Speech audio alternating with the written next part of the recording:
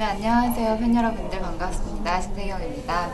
어, 벌써 한 해가 다 지나가고 어느새 어, 연말이네요.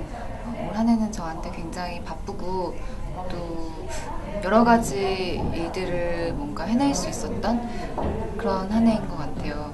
어, 팬 여러분들 보시기에도 굉장히 기뻤을 거라고 생각하는데 어떠셨는지 모르겠네요. 어, 모두 다 정말 행복한 연말 되시고 어, 좋아하는 분들과 또 소중한 분들과 함께하는 정말 즐거운 시간이었으면 좋겠습니다. 그리고 새해에도 모두 다 정말 좋은 일들만 있었으면 좋겠고요. 이루고자 하시는 모든 일들 꼭 다 이루어지시길 바랄게요. 저도 내년에도 역시 좋은 작품과 좋은 모습으로 여러분들 찾아뵙겠습니다. 늘 건강하시고 기쁜 일만 가득하세요. 감사합니다.